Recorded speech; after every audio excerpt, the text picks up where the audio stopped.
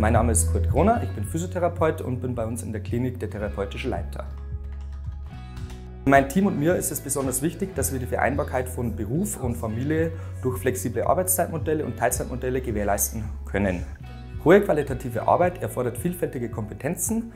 Deshalb legen wir großen Wert auf Fort- und Weiterbildungen, deren Kosten wir bis zu 100 Prozent übernehmen und die Mitarbeiterinnen und Mitarbeiter dafür freistellen.